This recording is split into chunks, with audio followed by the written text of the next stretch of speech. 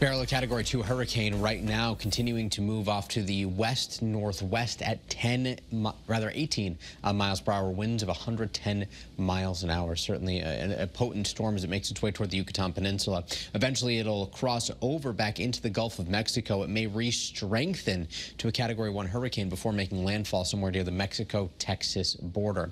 Currently we are watching uh, very summer-like scene unfold here on our iCam in Old Saybrook. Many people out in boats enjoying the 4th of July. It is dry along the shoreline. Here's our iCam view in Torrington where the sun has popped back out after some showers passed through Litchfield County. We're still tracking showers right now. Uh, the bulk of the heaviest moving through Tolland County as we speak.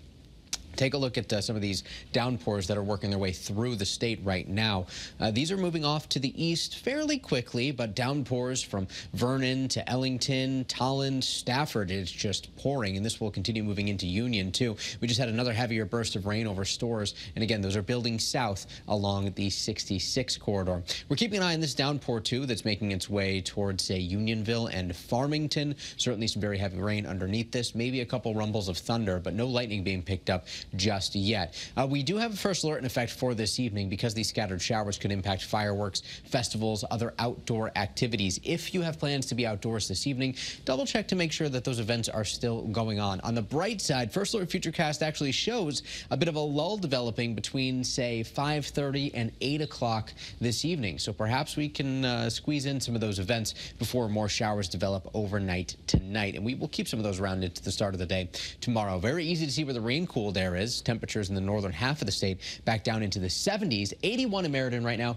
84 at Tweed New Haven, the warm spot across the state, uh, 79 in Chester and 78 in Willimantic. Dew points are up. It is muggy. We are back to oppressive levels of humidity as we begin the weekend Saturday, likely the most humid out of the next seven. So if you're heading out this evening, other than dodging showers, we're expecting temperatures to be between, say, 75 and 80 for the next several hours. Uh, you may want to keep the, you know, umbrella on standby just in case you are going to be outdoors later this evening trying to catch some fireworks. Tomorrow, we're expecting some showers in the morning and then perhaps an isolated thunderstorm in the afternoon, especially as inland temperatures climb to be back into the 80s. First Alert Futurecast here showing uh, the development of some spotty showers tomorrow afternoon.